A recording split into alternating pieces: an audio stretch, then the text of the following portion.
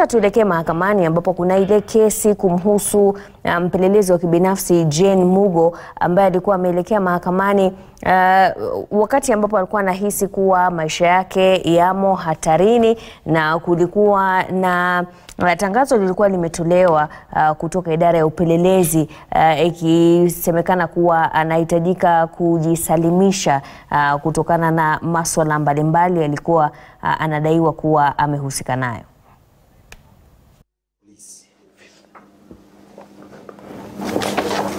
And his passports and motor vehicles had been confiscated by the police.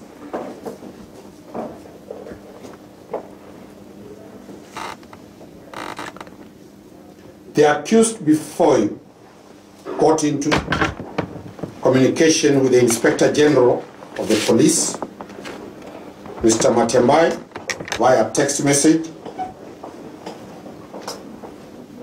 She was given an audience before the Inspector General,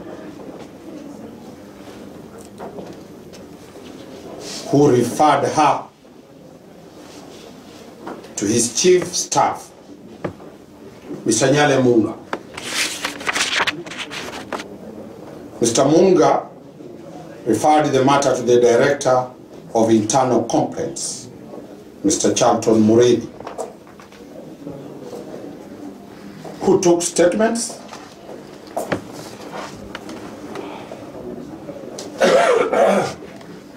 And on the 12th of August 2019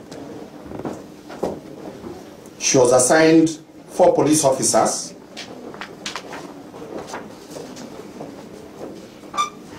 From the DCI's wing, one Chief Inspector Wanja, DCI CID officer Mwangi, the key, and a driver to go to this client's house to take instructions and trace the passport and the motor vehicles.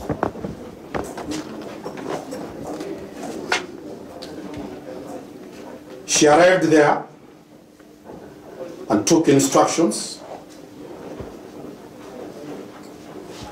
and she proceeded to the immigrations department to trace the, those passports.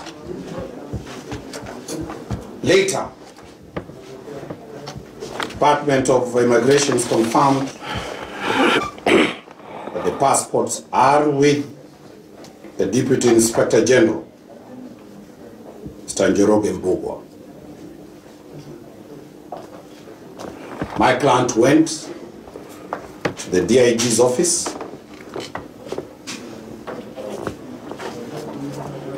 And they were referred to the Nairobi CCIO's office.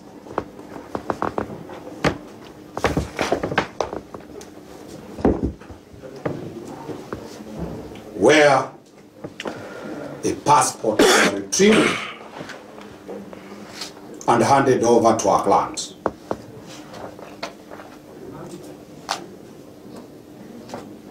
After that, we started receiving anonymous calls threatening our life and telling her that trumped up charges and fictitious charges will be preferred against her. She reported this matter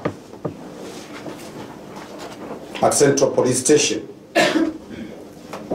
via OB number 94 04 09 2019.